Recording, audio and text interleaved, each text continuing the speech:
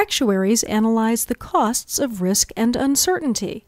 They use statistics to estimate how likely it is that an event such as an illness or accident will occur and help their clients set insurance rates and payouts so they can manage the cost if it does. Depending on the type of insurance or benefit they work with, actuaries may examine factors that affect an individual's health estimate the length of a person's life, calculate the likelihood of car accidents, or ensure a retirement plan will have enough funds for all the employees it covers. Actuaries typically work alongside professionals from other fields, such as accounting, underwriting, and finance.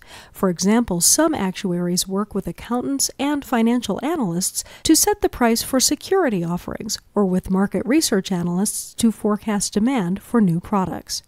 Actuaries also work in the public sector. In the federal government, actuaries may evaluate proposed changes to Social Security or Medicare, or conduct economic and demographic studies to project future costs. At the state level, actuaries may examine and regulate the rates charged by insurance companies.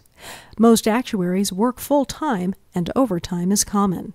Actuaries need a bachelor's degree, typically in mathematics, actuarial science, or another analytical field. Students must complete coursework in economics, applied statistics, and corporate finance, and must pass a series of exams to become certified professionals.